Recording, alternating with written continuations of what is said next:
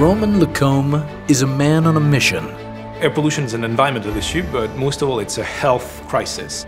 More than 5 million people die every year from pollution-related illnesses. Romain wants to change that. He has designed a system to help humans learn more about the air they breathe. And he did it in the most unconventional way imaginable, using pigeons wearing tiny backpacks. I will never look at pigeons ever again like I did before.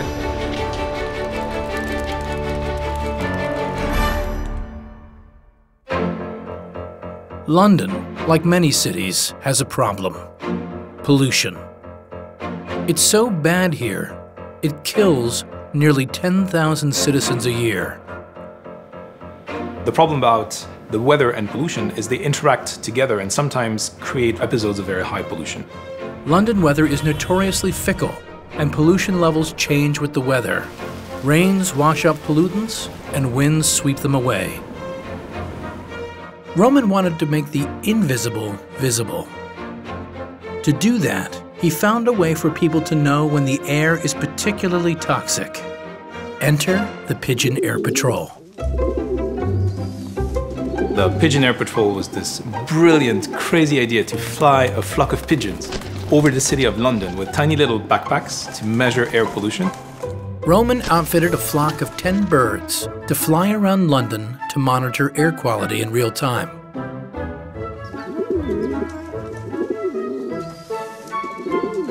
They wore special backpacks equipped with sensors to measure pollutants like ozone and nitrogen dioxide. And they weren't just ordinary birds, they were highly trained racing pigeons. We worked with Brian, uh, expert pigeon fancier who's been very widely recognized in that field. These are professional pigeons. They race, they know how to always home back to their home base. We had an entire patrol of pigeons, Coco, Norbert, Julius.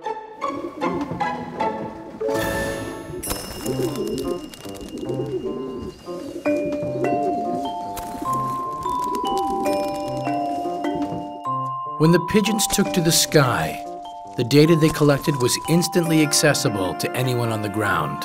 Citizens could tweet the Pigeon Air Patrol, and the nearest backpack sensor would respond with readings from low to extreme. Thanks to this, people tuned in to know when's a good time to go running and when you can bike without worrying about pollution, or when you should really take extra care about the air you breathe.